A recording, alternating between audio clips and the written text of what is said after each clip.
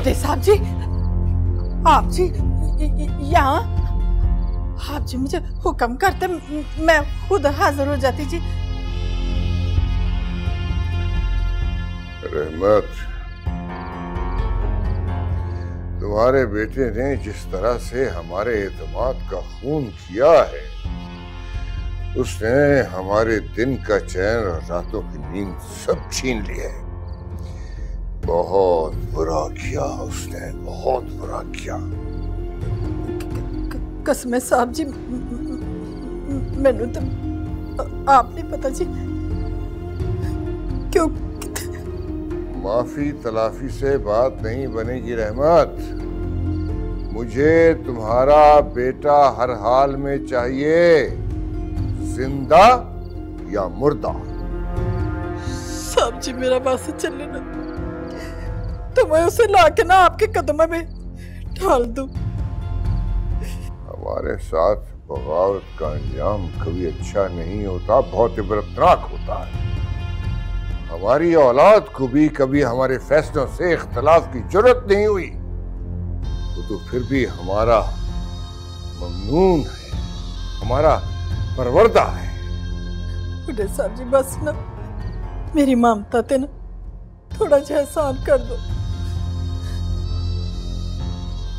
ਮੈਨੂੰ ਮਿਲ ਜਾਏ ਨਾ، ਤੇ ਮੈਂ اپنے ہاتھی اس کو سزا دوں گی اشمت علی نے اپنے دشمنوں کو کبھی معاف نہیں کیا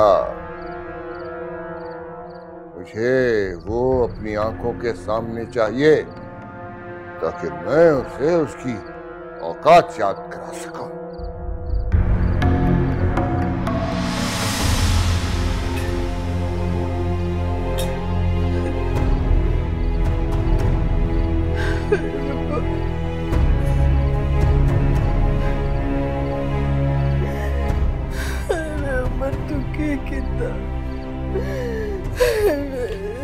تانے جی کھانا، وہ تیرے جی چھید کر دیتا اپنی ماں نے رو چڑھے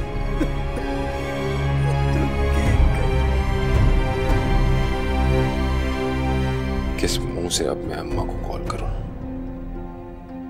اب تک تو طلاق کی خبر جنگل میں آگ کی طرح پھیل گئی ہوگی۔ یہ بھی ممکن ہے کہ اممہ کی بجائے فون کوئی اور اٹھائے۔ مزید کسی مشکل میں نہیں ڈال سکتا۔ ایسا کرتا ہوں، نادر سے بات کرتا ہوں۔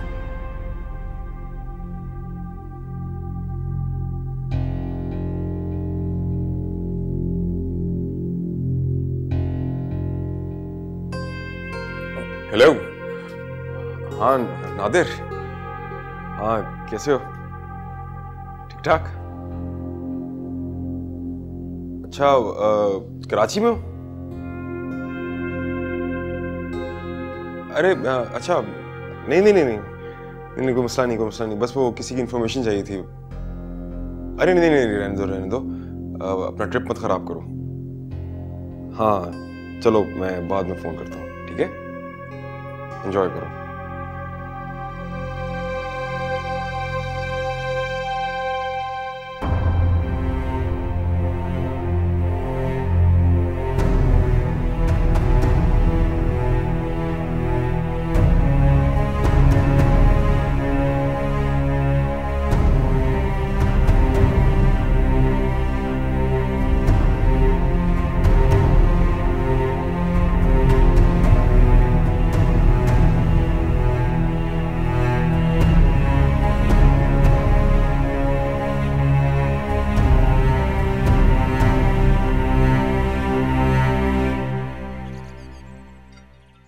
ویسے ابا جی مجھے عمر سے اس بیوقوفی کی امید بالکل بھی نہیں تھی۔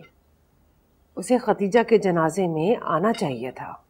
بار بار لوگ یہی پوچھ رہے تھے کہ وجاہت علی کا داماد کیا ہے۔ حالانکہ جانتے تھے کہ وہ یہاں نہیں ہے۔ پھر بھی الٹے سیدھے سوالات ختم نہیں ہو رہے تھے۔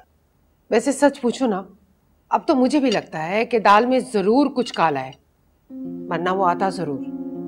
وہ دادا جان نے اپنے کام سے بھیجا نا عمر کو۔ اب اتنی جلدی تھوڑی آئے گا۔ ابا جی آپ نے ختیجہ کی ڈیتھ کی اطلاع تو کر دی تھی نا عمر کو؟ ہاں میں نے بتا دیا تھا۔ تو پھر وہ آیا کیوں نہیں؟ میں اپنا پروجیکٹ مکمل کر کے ہی آئے گا نا۔ عائشہ تم نے روشنی کو نہیں کہا ناشتے کے لیے؟ میں نے بلایا روشنی کو ابا جی لیکن وہ کچھ نہیں کھا رہی۔ جب بھی کچھ کھانے کو دو تو بھوک نہیں ہے کا بہانہ کر دیتی ہے۔ ایسے کیسے نہیں کھائے گی؟ نسرین؟ وہ ایک بول میں تھوڑے سے کانفلیکس اور دودھ اور یہاں سے کچھ چیزیں ادھر روشنی کے پاس لیں بیٹا دیکھنا اگر نہ کھائے تو زبردستی نہ کرنا۔ کچھ کھائے گی نہیں تو بیمار پڑ جائے گی۔ رو رو کے ویسے ہی آدمی ہو جا رہی ہے۔ جی میں دیکھ کے آتا ہوں۔ بھائی صدمہ بھی تو بہت بڑا ہے نا۔ آہستہ آہستہ خبر آئے گا بچی کو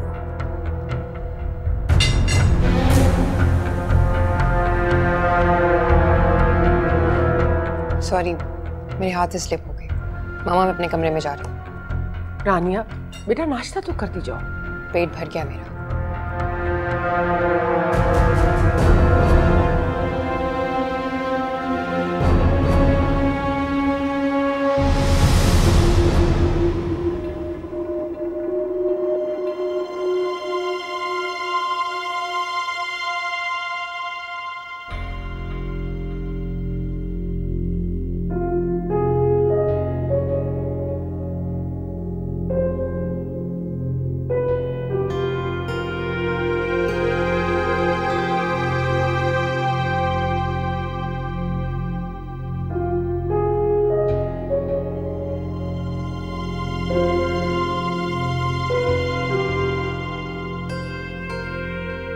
مریم کا نمبر آف ایسے کیسے ہو سکتا ہے؟ اس کا نمبر تو کبھی نہیں آف ہوتا۔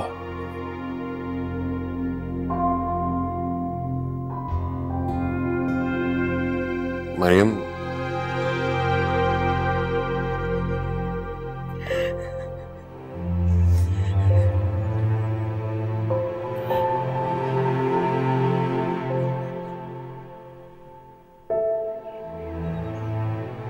روشنی تم نے کچھ کھایا نہیں؟ کچھ کھا لو پلیز۔ بھوک نہیں ہے رایان ارے کھانا شروع تو کرو بھوک بھی لگ جائے گی تمہیں۔ مجھے بھوک نہیں ہے رایان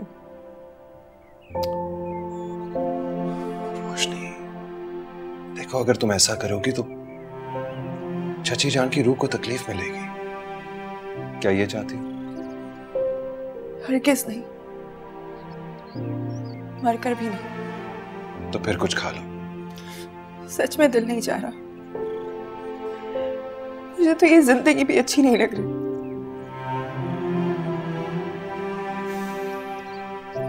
اللہ اپنے پیاروں کو ہی آزماتا ہے۔ لیکن تمہیں اس آزمائش میں پورا اترنا ہے۔ اگر میں ہمت کہاں سے نہ ہو رہا یار مجھے تو ایسا لگتا ہے جیسے امی جاتے جاتے میری ہمت بھی اپنے ساتھ ہی رہ گی ایسا نہیں کہتے۔ مجھے یقین ہے۔ چچی جان جہاں بھی ہوں گی تمہاری دعا گو ہوں گی۔ اچھا بھائی میں خود تمہیں کھلاتا ہوں۔ بھوکی رہو گی تو پھر اسی طرح الٹی سیدھی باتیں سوچتی رہو چلو شاکر۔ مجھے نہیں کھانا۔ پلیز۔ میری خاطر۔ منہ کھولو چلو۔